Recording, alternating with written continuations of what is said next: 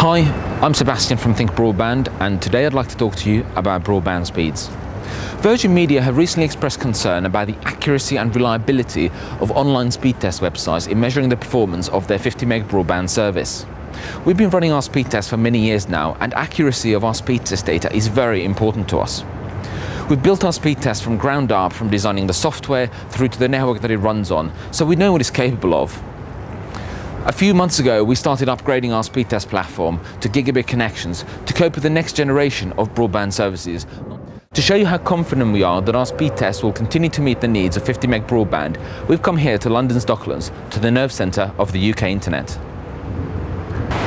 We're here in IDNet's hosting facility in Docklands to plug into the gigabit core of a broadband service provider's network and see how the speed test will perform. So let's have a look where we're plugged in.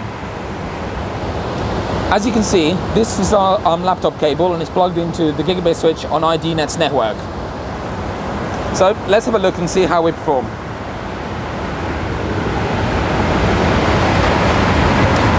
Let's um, go to our website. Now it's going to be important that um, everyone realizes um, that whilst we're plugged into a gigabit connection on IDNet's network, we're not going to get a gigabit performance because obviously there are other servers hosted here as well which will be taking up some bandwidth. As you can see the test is already performing quite well and it's now completed and we've got a speed test result of 270 megabits per second downstream and 273 megabits per second upstream. So as you can see, our speed tester will have no problems dealing with the next generation of broadband connections. We'd like to thank IDNet for allowing us to use the facilities to demonstrate the performance of our speed test, but we need to stress that these speeds can be achieved from any well-connected network.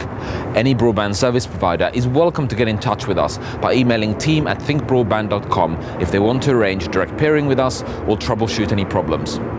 So 50 meg, bring it on.